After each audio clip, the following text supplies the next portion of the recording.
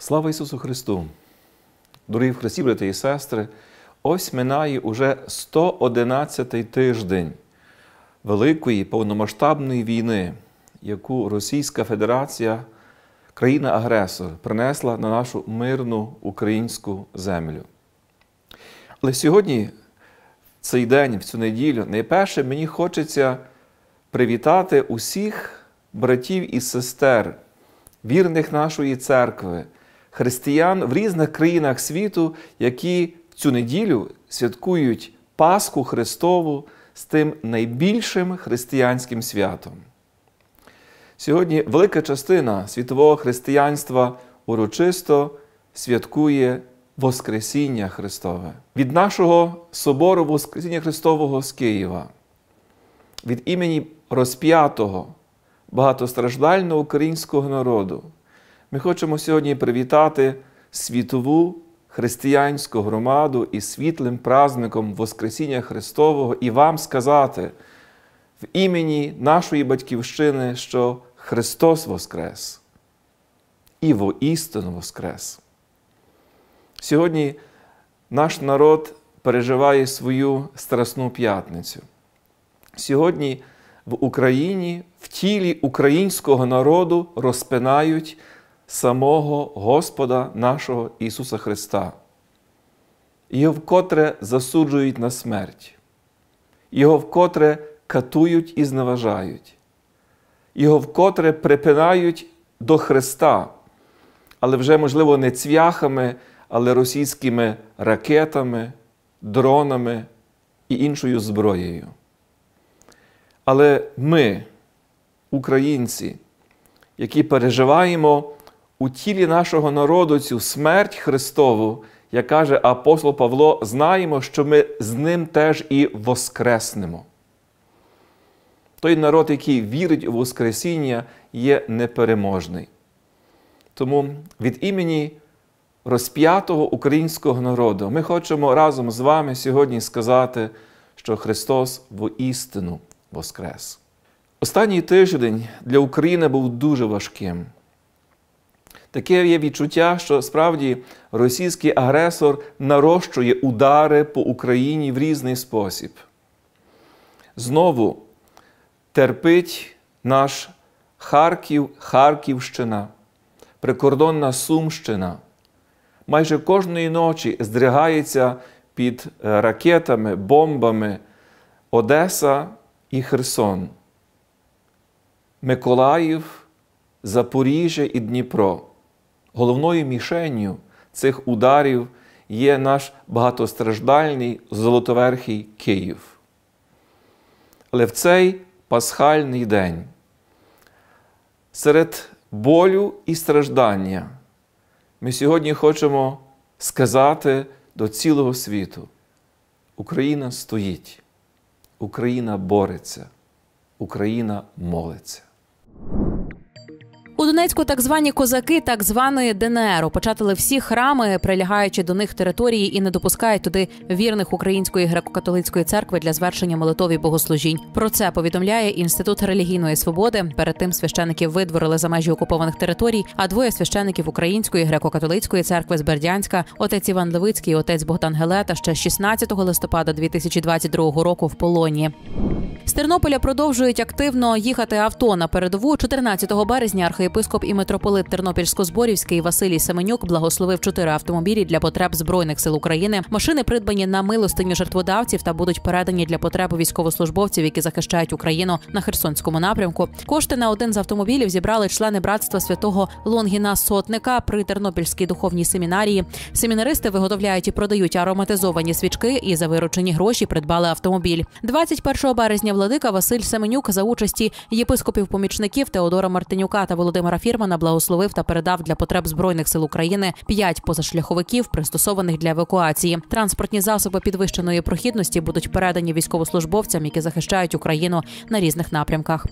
Представники організації Церква в потребі відвідали Луцький екзархат та поспілкувались із місцевими священниками. Гості прибули в Україну для того, щоб побачити і відчути, чим живуть люди у часі воєнного лихоліття, щоб бути промоутерами потреб і очікувань українців у світі. Розпочалась формаційна програма для молоді. Прийди і подивися. У події взяли участь майже 40 молодих людей зі всієї України. Її реалізовує українська освітня платформа разом з патріаршою комісією у справах молоді ОГКЦ. Програма Прийди і подивися матиме три цикли реколекцій, два онлайн-марафони, а також онлайн-курси. А ще декаду місійності, щомісячні зустрічі з духівниками в малих групах. І на завершення місійну подорож на схід України. Російська Федерація внесла до санкційного списку 56 осіб із Канади, яким відтепер назавжди заборонено в'їзд на територію країни-агресора. До нього ввійшли, зокрема, єпископи Української греко-католицької церкви, правлячий єпископ Української католицької єпархії Торонто та Східної Канади Брайан Байда очолив санкційний список. До нього потрапили також владика Лаврентій Гуцуляк, архієпископ і митрополит Вінніпейський та владика Давид Мотюк, єпарх Едмонтонський. Росіяни атакували столицю балістичними цирконами. У центрі Києва впали уламки на навчальний заклад. Удари почалися за хвилину після оголошення повітряної тривоги. Десять постраждалих, серед них дитина. Окупанти завдали два удари по Шевченківському району Харкова. Керована авіабомба впала серед житлових будинків біля дитячого майданчика. Загинув чоловік, майже 20 поранених. Серед них діти віком від трьох місяців до дев'яти років. Частково зруйновані кілька будинків, лікарня і шкільний заклад. Сьогодні е, у всіх серцях українських людей по-особливому відгукнулися пасхальні привітальні слова святішого Отця Папи Франциска. В своїй промові до міста і світу Урбі ет Орбі святіший Отець ствердив, що той, хто віддає своє життя за своїх рідних і близьких, ніколи не буде переможеним. Особливо хочемо подякувати сьогодні від імені сотень рідних і близьких наших військовополонених за той заклик святішого Отця до пасхального обміну всіх на всіх. Стільки сьогодні страждання принесла ця абсурдна злочинна війна.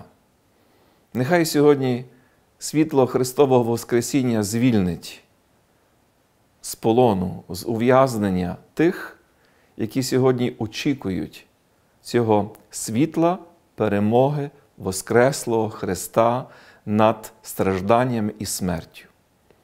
Дякую вам, святіший Отче, за цей заклик. Сподіваємося, що могутні світу цього почують ваші слова, і українські, і теж російські родини дочекаються додому своїх найдорожчих. Теж сьогодні ми хочемо сердечно подякувати дипломатичним службам апостольської столиці за те, що вкотре ствердили і підтримали суверенітет і незалежність нашої України. Найперше хочемо подякувати державному секретарі Ватикану, його еміненції каналу П'єтро Пароліну за те, що він ствердив, що Росія агресор мусить першою припинити нападати, атакувати, вбивати українців, щоб можна було розпочати діалог, перемовини про мирне дипломатичне врегулювання цієї війни. Ми сьогодні всі розуміємо, що коли Росія припинить на нас нападати, тоді припиниться війна. Коли Україна припинить захищатися, припинить існувати український народ і його держава. Теж сьогодні хочемо дуже подякувати Його Екселенції архієпископові Полові Галагерові, секретареві для стосунків із державами, властиво міністрові закордонних справ Ватикану, за те, що в цих днях вкотре ствердив, що апостольська столиця поважає суверенітет української держави. В своєму розлогому інтерв'ю відомому журналові американських єзуїтів American Magazine, його екселенція вкотре ствердив, що кордони держав не можна змінювати насильницьким способом. Кордони суверенної України є невід'ємною складовою сучасних обставин підвалин міжнародного права. І тільки Україна має суверенне право, коли і з ким розпочинати перемовини про яке-небудь мирне врегулювання цієї війни. Апостольська столиця поважає суверенітет, незалежність і недоторканність кордонів України. Сьогодні українцям почути ці слова, які промовлені до серця міжнародної спільноти, є надзвичайно важливо. В цих умовах війни Українська греко-католицька церква продовжує проголошувати Христове Євангеліє, Боже Слово навіть в умовах війни. Сьогодні наша церква несе у собі світло надії. Ми променюємо цією надією, ми її проповідуємо. Бо християнська надія це не є лише якесь почуття, це не лише якесь людське сподівання на щось, що, можливо, сьогодні ще для нас не цілком є зрозуміле, ясне. Християнська надія це є богословська чеснота. Християнська надія найперше є надією на перемогу добра над злом, на перемогу Христового Воскресіння над гріхом і смертю. Змістом християнської надії є Воскресіння і життя вічне. Сьогодні, проповідуючи надію, серед навіть деколи по-людськи безнадійних обставин, ми віримо, що Господь наш Ісус Христос живо присутній в цих обставинах разом з нами. Більше того, Він завжди на крок попереду. Ми не знаємо, який буде завтрашній день, але ми точно знаємо, що цього дня, завтрашнього дня, там точно буде присутній Воскреслий Христос. І Він є джерелом нашого оптимізму, нашої сили до бурні. Це Він, який відновляє сьогодні здатність українського народу жити і відстоювати свою гідність, право на існування, жити з віри в Бога і нести цю надію Україні і світові. Боже, благослови Україну. Боже, благослови українське військо. Боже, потіш страждаючих і терплячих. Боже, порятуй українських дітей, бо вже 567 з них загинуло під час цієї війни. Боже, своєю десницю торкнися дитячих ран України, бо 1806 дітей уже поранено під час цієї жахливої війни. Боже, зупини цю війну. Боже, поблагослови Україну, наш народ своїм справедливим, воскресним, благословенним, небесним миром. Благословення Господнє на вас, того благодаттю і чоловіколюбієм завжди, нині і повсякчас, і на віки віків.